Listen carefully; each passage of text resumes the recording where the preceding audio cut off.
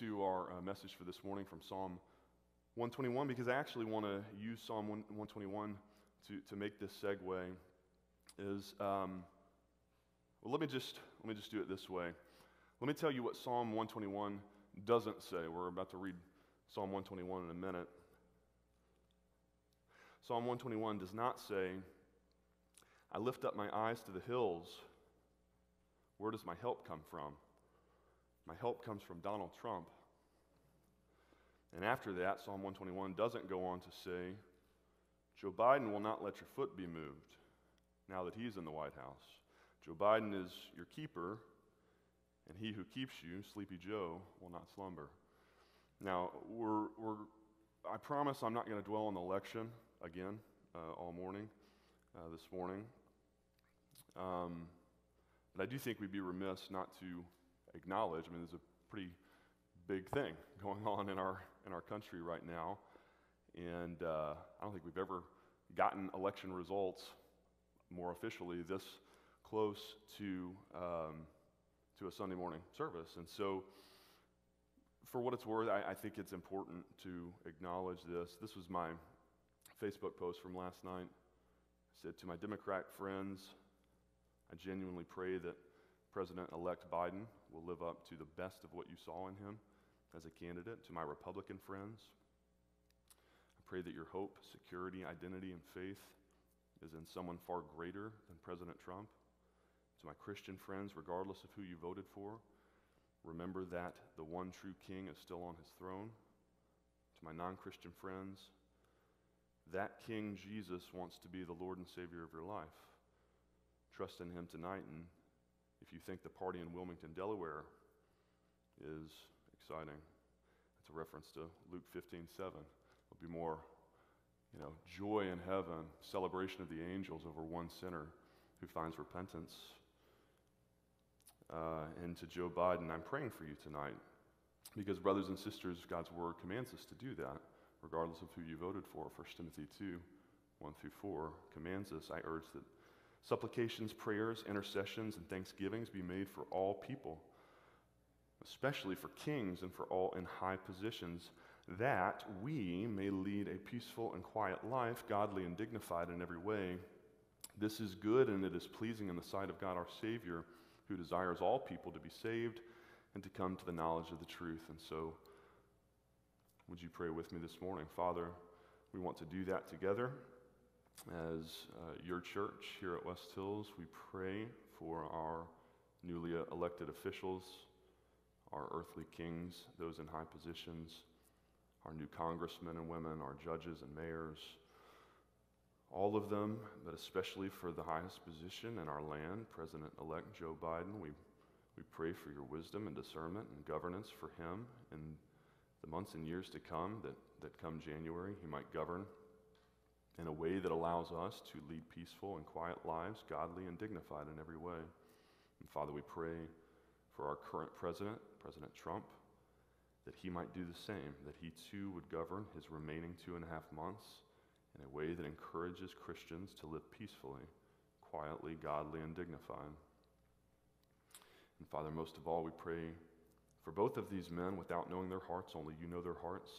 Your word clearly tells us your heart God, your heart's greatest desire is that all people would be saved and would come to the knowledge of the truth, the knowledge of Jesus, the way, the truth, and the life. Jesus, you are our only hope in life and in death. You are so much better than any politician or party platform that this world has to offer. Jesus, you are our heart's greatest desire. And so this morning, we pray for our leaders, we pray for our country and its future. But more than that, Father, we pray for your church that you purchased with the blood of your son Jesus. That whatever may come these next four years, that we would continue to be light and salt in an increasingly dark and corrosive world, and that we would never lose sight of the truth that our hope is truly in you and in you alone. In Jesus' awesome name we pray. Amen. This morning, as I said, we're, we're studying Psalm 121 together as we begin to wind down our Psalms of Hope series this fall. Uh, we only have three Sundays left in the, in the, Psalms, and I know I have loved uh, preaching through these Psalms of Hope with you. I hope you've loved studying them as well. Uh, this morning we come to a really important one in the 20, 121st chapter because we've been highlighting all of these great, glorious truths about who God is, uh, the hope that we have in God. Uh, God's listening, God's care, God's protection, God's redemption, God's deliverance, God's goodness, God's faithfulness, His help, His trustworthiness, His enduring, His strength, His rule, and all of these things that are true of God, it, they are true, and we should find great hope in all of them. But the question before you and me this morning is how about when life still gets tough? How about when you, when you know and you trust that God is listening and He cares and He protects and He redeems and He rules? And you know all of that, but life still gets hard. I was thinking about it more this past week. You know, I think I really kind of ran a risk in preaching a sermon series specifically on hope in the midst of a pandemic filled election cycle because obviously, you know, my intention in, in this series was to help us fix our eyes on Jesus in the midst of the chaos swirling all around us to remind us that our hope is not in this world, but in the world to come. But the risk that you run in doing that is that you all leave here on Sundays feeling reassured and hopeful, but then on Monday you get hit with the weight of the world again. And perhaps some of you at that point feel even worse because now, on top of the temptation to despair, you feel guilty that you're not more hopeful. You think, well, gosh, the Bible is so hopeful. I'm hearing about hope every week. But if I'm honest, it seems like I struggle uh, to, to find any hope throughout, throughout a lot of my week. And so, if that's you this morning, I just want to be pastorally sensitive to that and validate that. If you are experiencing some cognitive dissonance these days between the hope that you experience on Sundays and that you long for, you know, in a COVIDless world and the despair that, that seems to creep in on Mondays, I just want to reassure you this morning Psalm 121 is for you this morning. Because the big takeaway here, the main idea, I think, of Psalm 121 is that as absolutely wonderful as it is that God protects and helps and redeems and delivers and strengthens and all of it, it's all true. But the fact is, you and I need a God who goes even beyond all of that and who does even more than that. We need a God who can sustain us when things get tough in the here and now.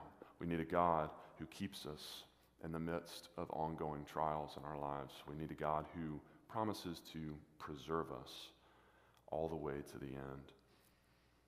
You need a God who you can turn to in the hospital when you are battling COVID and they won't let your loved ones in, and it feels like you're otherwise left all on your own with all of your scary risk health factors. You need a God who won't leave you when you're stuck in a rehab center for months trying to relearn how to walk and talk after undergoing major brain surgery for st- suffering a stroke. You need a God who won't let go of you when your father dies suddenly, tragically, in his early 50s, and, and it sends you into a major crisis of faith as you struggle to, to, to believe that God is even still out there listening anymore. These are not hypotheticals, these are all real life, actual members of our church facing these hardships right now. And maybe you're not. I mean, perhaps all things considered, life is actually pretty good for you right now. Praise God. But I am sure that from time to time, for all of us, you know, we face these more commonplace, yet no less real trials of life, and all the more so during a global pandemic. And when you do, you need a God who is somehow going to get you through, you know, the months ahead of being cooped up every day this winter indoors because it's too cold to go outside and everything inside is back closed again because it's cold and flu season and you're cooped up with your three toddlers under the age of four listening to baby shark all day long trying not to kill yourself or them. You need a god who can get you through that. You need a god who's going to see you through the depression that you're experiencing as a result a result of working from home for the past eight months right, and desperately longing for real face to face interaction with your workplace friends. You need a God who won't give up on you and turn his back on you.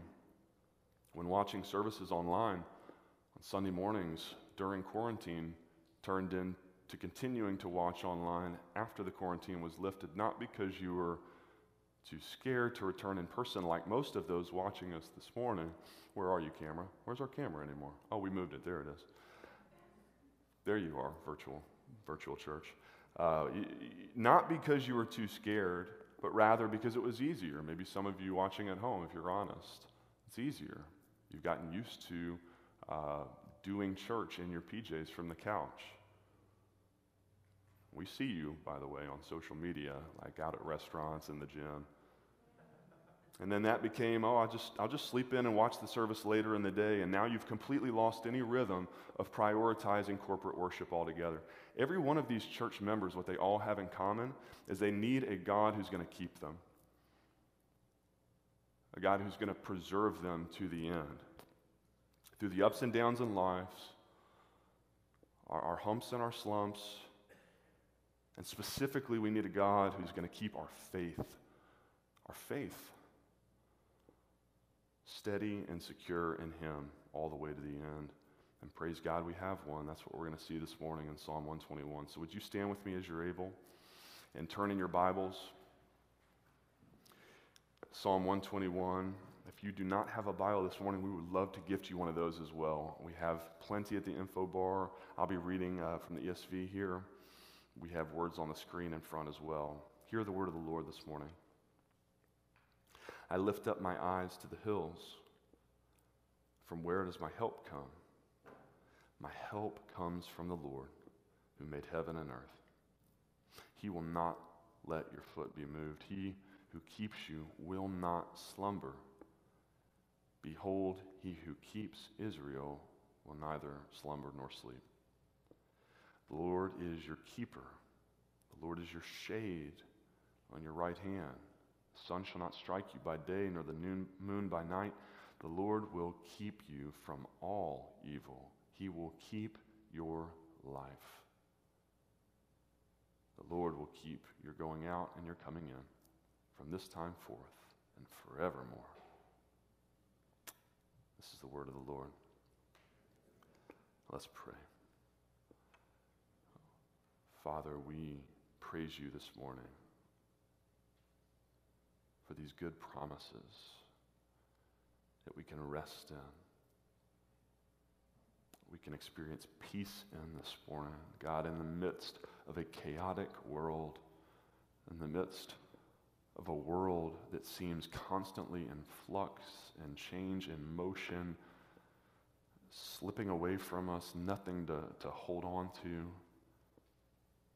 God, that you promise you will not let our foot be moved That you're going to keep our going out and our coming in from this time and forever.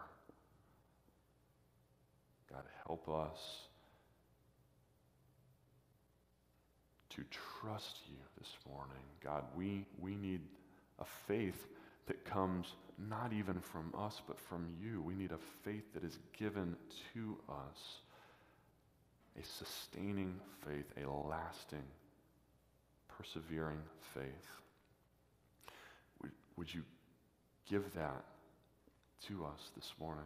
Father, would you use your word once again to, to strengthen and encourage saints here who feel like life is slipping away and need to be reassured of your keeping grace in their life? And would you use your word this morning to, to pierce through and to cut and convict to the soul of someone who has not yet trusted in you, who is trusting in the slipping, fading, temporal things of this world,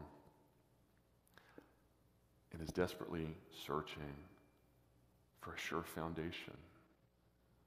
Would you open their eyes and their hearts to see Jesus this morning, the rock that you invite us to build on? Would you call sinners to yourself this morning? We pray for your glory, Jesus. Amen. Uh, you may be seated. Uh, let me give you some context here. Psalms uh, 120 through 134 are all uh, delineated in, in uh, their titles as songs of ascent. A S C E N T, ascent. Uh, commentators inform us that these were pilgrim songs to be sung when the Israelites were on their pilgrimage, ascending to Jerusalem for their annual feast in the Old Testament. So that's the backdrop for the visual that we get here in verse 1. The psalmist says, I lift up my eyes to the hills. Commentator J.M. Boice explains this can mean either of two things. First, a pilgrim approaching Jerusalem. Uh, for, for, for, that pilgrim, the mountains around the city suggest Jerusalem itself.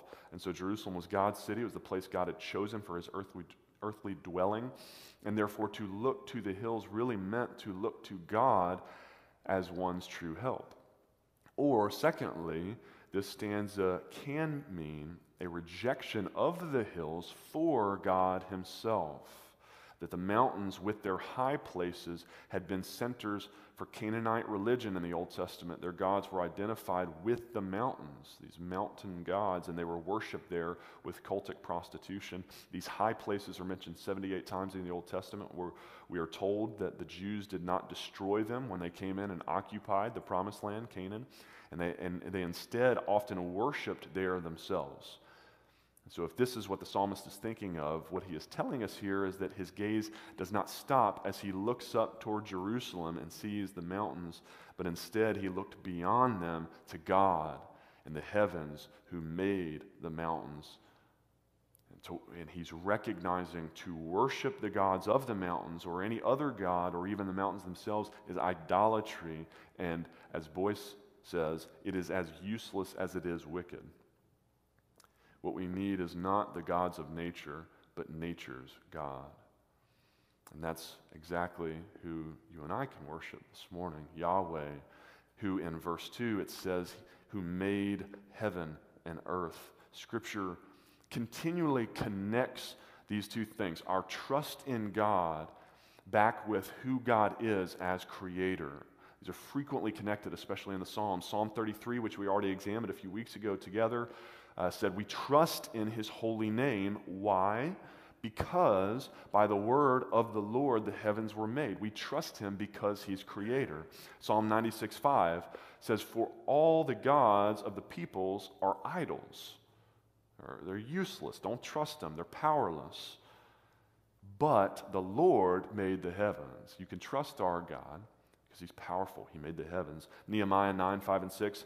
Bless the Lord your God from everlasting to everlasting. Trust him, bless him. Why? Because you are the Lord, you alone. You have made heaven, the heaven of heavens with all their hosts, the earth and all that is in it, the seas and all that is in them, and you preserve all of them. Therefore, the host of heaven worships you.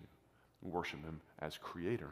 Creation is the proof that God is able to keep us, to help us in our time of need. If God can make the galaxies and the geckos, solar systems, and sunflowers, He is certainly able to keep you and me from stumbling. He has the power. God has all power. God is omnipotent, all powerful. And we'll discuss that in greater depth next week in Psalm uh, 139. But suffice it to say this morning if God can create and uphold the entire universe by the power of His Word, I think he can handle your midlife crisis. I think he can handle your friend group drama at school, students. I, I, don't mean to make light of our problems this morning because some of you really are facing serious, difficult stuff right now. And to you, in the moment, I know it feels overwhelming but all the more reason that you need to be encouraged and uplifted and reassured by the hope of verse 2 here that your help comes from the Lord who made heaven and earth. I was trying to think of an, an analogy to help us this morning. I, I, I, just, this came to mind. I, I, I pictured my daughter Ellery, you know, if we wanted to take her out of school for a day, and the, the school policy is you need to notify the teacher. It would be like Ellery freaking out over my ability, like whether or not I was able to send a quick email to her teacher to give the teacher the heads up. When she watches me write 5,000 word sermons, a 10 page paper every single week, like, baby, I think I can handle a 10 second email. That is what our problems are to God. That, that doesn't mean He doesn't care about them. Like God loves us enough to take our worries seriously, He cares. But creation is the proof of his almighty power. that you and I don't need to worry about his ability to address our problems, to help us in our time of need. And the psalmist offers us two of his own illustrations of God's helping protection over our lives in verses 3 through 4. First, it's this picture of a vigilant watchman, like a, a, a sentinel, you know, watching out. It says he will not slumber as he watches over you. And then in num- uh, number two, in verses 5 through 6, the image of an umbrella He says, I'll be a shade at your right hand on, on sunny days. That might strike us today as a bit of an odd choice of imagery, umbrella. But Boice explains there is genuine danger of sunstroke in such hot regions as the Near East. And uh, then, then you, you get that the rest of verse 6 there. It's kind of interesting about the moon. There was some thought, too, in antiquity, as verse 6 suggests, that not only can the sun strike you by day physically, but the moon could also strike you with mental, emotional, psychological affliction by night. That's where our word lunatic comes from. This, this idea, you know, werewolves this idea, you know, with the full moon, that, that, that somehow lunar cycles can really affect us. Other interpreters think that the psalmist's point here is that God will protect you from both the heat by day and the cold by night, heat and cold. I think that really what it means is that nothing, nothing by day or by night, heat or cold, physical or psychological, nothing can harm us if God is keeping watch over us. That's it. As Boice says, he is our shade against the visible perils of the day as well as the hidden perils of the night. Because, verse 3, he who keeps you will not slumber. Verse 4, he who keeps Israel will neither sleep nor slumber. See, the pagans in antiquity they conceived of their gods in very anthropomorphized ways, very humanized ways. People for millennia have been making gods in our own image. We assume that God must be like one of us. We are not omnipotent. We are actually very limited. You and I are so limited, we've actually literally got to lie down and close our eyes and shut our brains off, power down for at least a few hours every couple days, or we will literally die. That's how limited you and I are. Right, the longest recorded time without sleep in all of history is 11 days. You try and push it and stay up for 12, you're going to die. After just three days, you start to hallucinate. Scientists aren't even exactly sure why all of this is. The best explanation is probably just that God wants to remind you that you're not Him that we are very human, limited, and finite, and He is not. But for almost as long as people have been around on this planet, we've been dreaming up all these other gods who are not, uh, who are like us, who we can therefore manipulate into doing our bidding. This is called idolatry, and God hates it. God tells us in His Word that He has made us in His image instead. That is one of the most glorious facts in all of creation. We are made in God's image and not the other way around. But in our sinful rebellion, our desire, like Adam and Eve, to be gods, we turn around and we fashion gods in our own image instead. And it's as useless as it is wicked. The idea of God sleeping, of the uselessness of idols, is especially uh, uh, powerful and sort of poignant in the story of the prophet Elijah from 1 Kings chapter 18 if you remember, the wicked king Ahab wanted to kill the prophet Elijah because he wouldn't shut up about Yahweh being the real God and about how Baal, the Canaanite god, who Ahab preferred instead because he was humanized and so he could supposedly be manipulated. And so Elijah said, Tell you what, why don't we just put it to the test? All right? Um, you get your prophets together, and I'll do my thing. We'll, we'll both march up Mount Carmel. We'll both build altars and we'll sacrifice a bull to put on each, on each altar, and then we'll just pray to our gods and we'll see uh, which one is the real one. And so Ahab assembled 450 prophets of Baal, and Elijah up, marched up Mount Carmel all by himself. The prophets of Baal went first. And they won the kickoff, and Elijah, you know, waited and watched, kind of crossed his arms, and the prophets of Baal prayed, and they prayed, and they prayed some more. They prayed all day hours on end, but nothing. And so Elijah started taunting them. He said, Remember, you created Baal in your image.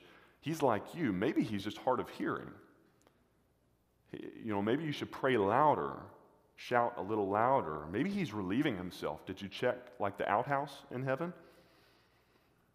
He said maybe he's away on vacation. Did he leave an out of office message up on, on his screen?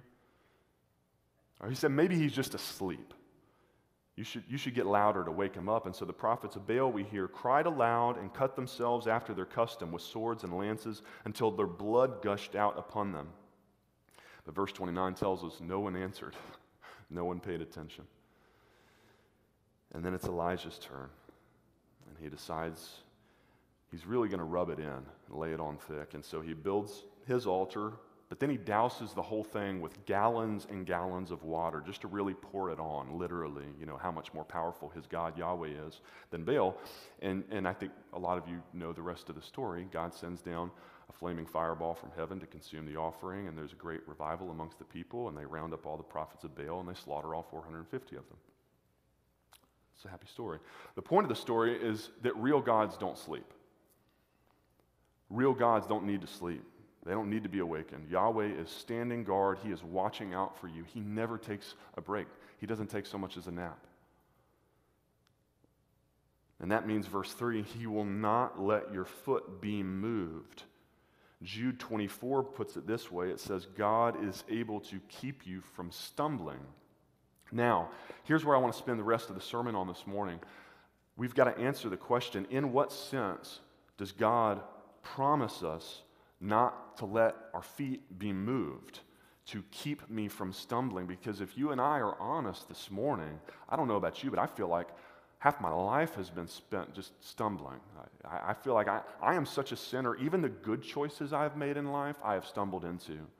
Like deciding to marry Polly, deciding to have kids, moving to St. Louis, entering into ministry. Don't, don't ask me, you know, how the Lord called me into ministry. I wasn't listening if he did.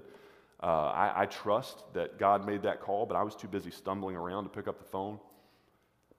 The story of my life is God redeeming my stumbling and using it despite me for his own good purposes.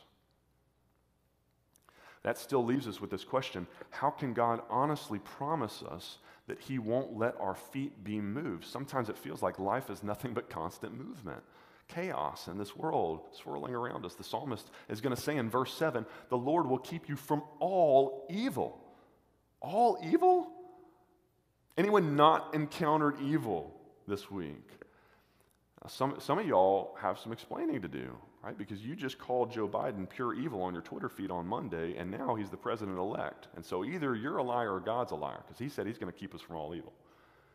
I'm getting distracted by the election again. But let's make it less political and even more serious this morning. There are millions of Christians all around the world this morning who are suffering from severe persecution for their faith in Christ. I subscribe to Voice of the Martyrs. Here's a recent email I got from them entitled Thousands Displaced in Mozambique. It reads Elisa arrived home just in time to see Islamists murder her father and her husband, who was a pastor. Her uncle had already been beheaded. Grief stricken and fearing for their lives, Elisa and 18 members of her family headed south, joining more than 200,000 others fleeing the Islamist advance. So, if you're Elisa this morning and you pick up your Bible for comfort and you happen to flip open to Psalm 121 and you read, The Lord will keep you from all evil, what are you going to think about that?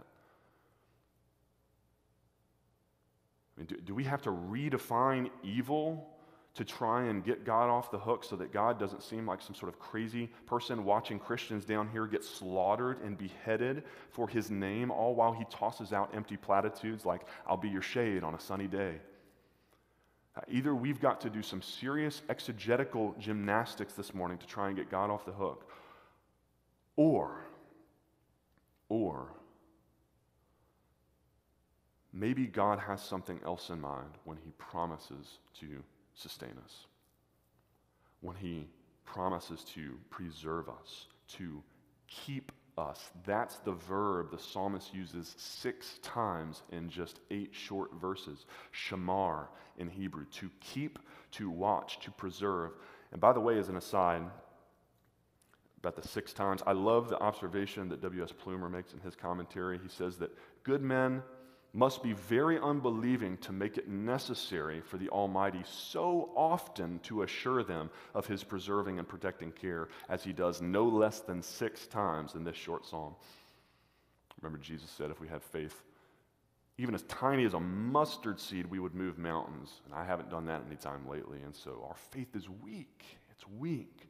But praise God, His faithfulness to us is sufficient. And here is His faithfulness to us this morning, friends. This is what God is promising us when He says, I am your keeper in verse 5. When He says, I will keep you from all evil in verse 7. Notice something. Does it mean that he'll, we'll never encounter evil? Like we'll be just insulated in our little Christian bubble from all evil? No. Remember, Jesus said, if they persecuted me, they're definitely going to persecute you. In this world, you will have trouble. But notice something very important about verse 7. God doesn't promise to keep us from all danger. Doesn't say keep you from all danger. If you think about the Apostle Paul's list from Romans uh, chapter 8, of all the things that he says God promises to keep us with, that, that, cannot keep us from him. Paul says, I'm sure that neither death nor life, nor angels, nor rulers, nor things present, or things to come, powers, height, or depth, or anything else in all creation will be able to separate us, separate us from the love of God that is ours in Christ Jesus our Lord. That's a beautiful promise. But here's the, here's the catch about that. If you flip over to 2 Corinthians chapter 11 and check out the list of troubles that Paul list that he has personally dealt with over the course of his ministry as an apostle imprisonments and beatings and stonings and shipwrecks and et cetera, et cetera, et cetera you start to notice something that Paul specifically dealt with every single type of calamity that he mentioned back in Romans chapter 8. And ultimately, he said neither death nor life, and ultimately he would face death, and Paul would be himself beheaded for the faith at the hands of a Roman sword. God does not promise us from danger in this life, Christian. Speaking of martyrs, this psalm, Psalm 121, was historically one of the favorites of many early Christian martyrs, and they would recite it joyfully as they marched to their deaths. Is that some kind of bad joke? Like, did they totally miss the sick irony of what they were reciting and singing? Or did they understand something about the true interpretation of this psalm that you and I desperately need to appreciate this morning? That God doesn't promise to keep us from all danger, but He does promise to keep us from all evil. And He says specifically, verse 7, He will keep your life. I will keep your life. What's your life, friends? Is it the, the 80, 90 years that you will spend on this earth, the Bible says that is but a blip on the radar screen of your life, God's view of your life. The Bible says that part of what it means to be created in God's image is that you and I were created for eternity, that our souls are eternal. We were built to live forever. We're not like appliances these days that we all complain about. They don't build them like they used to, right? They only build them to last five to 10 years because then they want to sell me another microwave or whatever. God is not in sales, He builds to last, to live for eternity. But that means if that dishwasher is going to last you for eternity to the end of time, you better take really, really good care of it, right? You better have a maintenance plan that is also designed to last, designed to preserve. And God's going to have to keep us. And specifically, He's got to keep my faith, right? The Bible says the way that I live with Him forever is by faith, then He's got to keep my faith. That's what He's got to keep. And so, look, here's what I want to do our remaining time. I've got a list here of many biblical promises that God makes us about how He's going to keep our faith. And I just want to warn you up front because sometimes I get accused, again, trying to cram too much scripture into one sermon. It's like a fire hose.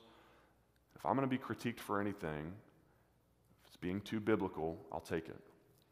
This morning, I, am going to warn you again, I'm going to intentionally do it because I want to overwhelm you with the fire hose of information, of, of, of promises from God in His Word about this biblical truth that God will keep you if you are in Christ. God's preserving, keeping mercy over us in our faith. We Calvinists call this the perseverance of the saints.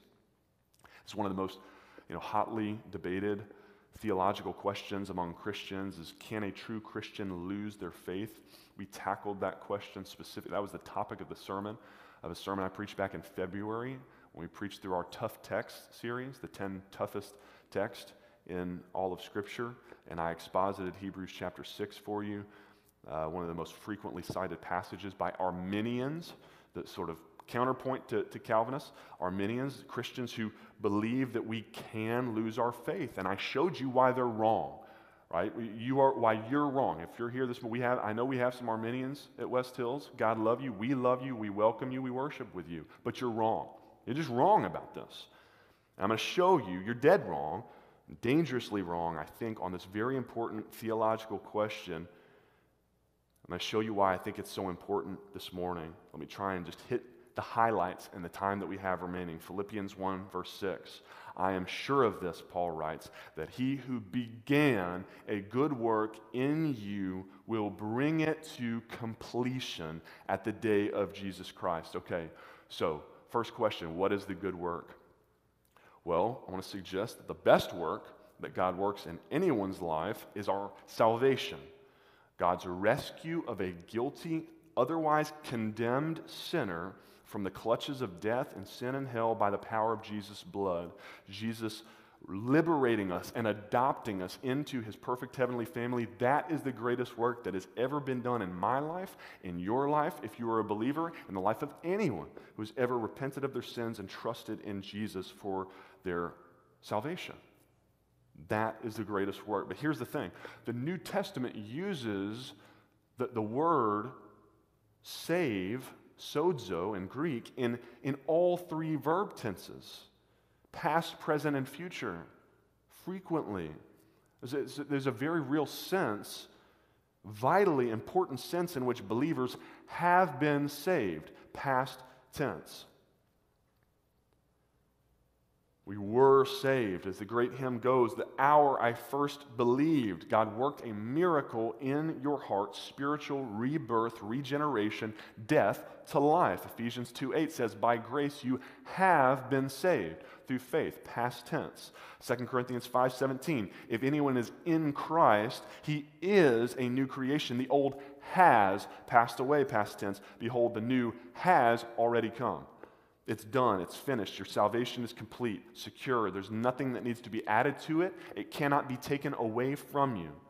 That is amazing news this morning, brothers and sisters. The Bible calls this justification. It is a legal term that means to declare innocent. You and I stood guilty in God's court of law, condemned in our sin of high treason and rebellion against the King of the universe. But Jesus stepped into the courtroom and willingly took upon himself the chains, the punishment that was rightfully owed you and me. We did the crime, he did the time. And the Bible says that in his sacrificial death, in your place, on the cross, that justified us. It made us, declared us innocent. Jesus paid the penalty for your sin. Romans 5:1 We have been past tense justified by faith. We now have peace with God through our Lord Jesus Christ. Praise God. Now, that would be good enough news for you and me this morning if, the, if, if salvation was only past tense. But the gospel is even better news than that. Because the New Testament says we aren't just saved, past tense, we are being saved, present tense. 1 Corinthians 15 2. I preach the gospel by which you are being saved, Paul says. 1 Corinthians 1:18 the word of the cross is the power of God to us who are being saved. The Bible calls this present tense uh, dimension of, of salvation, it calls it sanctification. This ongoing work of salvation as God works that grace, that gospel, that, that, that, that salvation in and through every part of our life. It's a beautiful thing that God, in His mercy, would free us not just from the penalty of sin at our justification, but from the power of sin progressively over time as we are further and further sanctified for our remaining days on this earth. We are being saved. We are being set free from the power, the grip that sin once held on different parts of our heart. Once again, that would be good enough news. But the gospel is even better than that because it's not just the penalty of sin. And it's not just the power of sin. God promises that one day we will be saved, future tense, will be saved from the very presence of sin altogether in heaven. 1 Thessalonians 5 9, God has destined us to obtain a salvation. We will obtain it through our Lord Jesus Christ. Romans 5 9 does a good job of bridging and tying these different dimensions of salvation, past, present, and future, together for us nicely. Paul says in Romans 5 9, Since therefore we have now been justified by his blood, much more so shall we be saved by him from the wrath of God. We have been and we shall be. Scripture calls the shall be, the future tense, glorification. And so here's the thing these three dimensions of salvation justification, sanctification, glorification, past, present, future. What does any of this have to do with Psalm 121 and God's promise to keep us? We already said that the, it's not a temporal promise. It, it can't be. It can't be a promise for this life only, for this world, or else God would be a liar, right? Because my feet slip all the time out here. I run into all kinds of evil out here. Right? I, I, God must mean something much bigger when he says, I'm going to keep you in Psalm 121. And I think the keeping that he has in mind in Psalm 121 is exactly the same keeping that Paul is talking about here in Philippians 1 6 when he promises that he who began a good work in you will bring it forth to completion at the day of Jesus Christ. God will complete his good work of salvation in your life, all three dimensions. Those God justifies, he will sanctify those he sanctifies, he will glorify. You don't, you don't just opt in for one of those parts without the others because we have a faithful God. He, he, he keeps those he calls. And we don't have to speculate about that being the good work that Paul is alluding to here in Philippians because we can flip over, over to uh, Romans chapter 8, where Paul writes what I just said almost verbatim in Romans chapter 8, verses 28 through 30. He says, For those who love God, all things work together for good, for those who are called according to his purpose. Now, all too that's a beautiful promise, but all too often we stop right there in verse 28, don't we? And we just pull that out of context. And, and we apply it just to this life. Like if the promise w- was just for this life, then the promise would be that you know one day I'll be able to be on my deathbed and I'll be able to look back and realize how God has perfectly orchestrated all the events of my life, even the tough times, worked them all together in His master plan for my ultimate good. I couldn't see it at the, at the time, but now I can see it. You know, my parents' divorce, that's a good thing. You know, those tough years of marriage, my kids wandering from their faith, uh, all of it makes sense now in this life. But if we actually read Romans 8:28 in context, I think the promise is even better than that. Because verses 29 and 30 go on to say, For those whom he foreknew, God also predestined to be conformed to the image of his Son. And those whom he predestined, he also called. And those whom he called, he also justified. And those whom he justified, he also glorified. And here in Romans, this gets into some, some pretty crazy, mind bending, time warp type th- theological stuff. But, but the truth is that because God is omniscient and God transcends our, our sense of time and space, God is even talking here in Romans 8 about our glorification in the past tense. It says, Those whom he justified, past tense, he also glorified, past tense. Like we're already glorified, you and I, in God's eyes. How is that possible? Because in God's mind, once he has set his mind to the plan to save us and set it in motion, to justify us, to sanctify us, to glorify us, it's already as good as done. It's as good as done. Because God makes good on every promise. God sees through to completion every good work that He starts. And so let's bring it back now to Psalm 121. God keeps us. He will not let your foot be moved. If you're standing on the rock, if you're standing on Christ, you're, you're built on a firm foundation Jesus said, The winds and the storms of life will come, but God will preserve you. He will keep you. He will keep your faith. That's what he's keeping. God is keeping the faith of those he calls. Jude uh, addresses his short letter in the New Testament this way. It opens with Jude, a servant of Jesus Christ and brother of James, to those who are called, beloved in God the Father, and kept for Jesus Christ. Those whom God calls, he always keeps. Hebrews 12:2 puts it this way, let us look to Jesus, the founder and perfecter of our faith. He's not the founder and improver of our faith. He's not the founder and enhancer of our faith. Jesus is the founder and perfecter of your faith. Raise your hand this morning if you've got perfect faith here. Okay, seeing none, me neither. I have to conclude that that means, unless God is a liar, that means he's just not done with us yet, friends. That he's still working on you, he's still perfecting your faith for the remaining days that you live out on this earth until he at last brings you home and your faith becomes sight and you meet him face to face finally, ultimately perfected, God will continue that work. He will do it. He perfects that which he founds. Jesus doesn't start jobs he doesn't intend to keep and, and, and, and to finish. You're a work in progress. I'm a work in progress. Some of us take more work than others. But God's promise is to see the job through to completion. He will keep you all the way to perfection. 1 Thessalonians 5 23 and 24 reiterates this same promise. Now may the God of peace himself sanctify you completely, and may your whole spirit and soul and body be kept blameless at the coming of our Lord Jesus Christ. He who calls you is faithful, he will surely do it. He'll do it. He will, he promises. He will sanctify you completely. If he's begun it, he won't stop. He doesn't give up on his people. I don't have time for all the rest of these. 1 Corinthians 1 8 and 9. God will sustain you to the end, guiltless in the day of our Lord Jesus Christ. God is faithful. 1 Peter 1 5. You, by God's power, are being guarded through faith for a salvation ready to be revealed in the last time.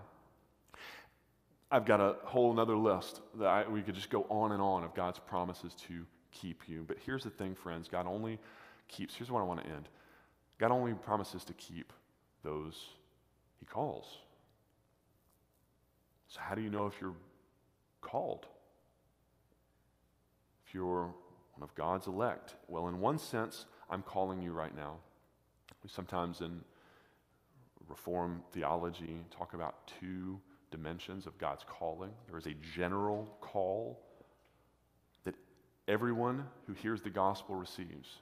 If you're here this morning and you're not daydreaming about, you know, lunch, you are receiving God's general call this morning to repent of your sins and trust in Jesus for your salvation.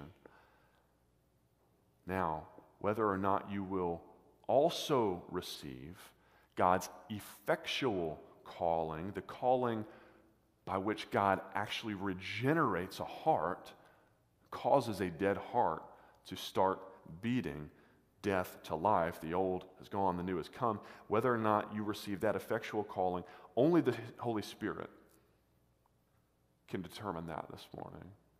I can't do that for you. You can't even do that for yourself. But here's what I will tell you it's between you and God.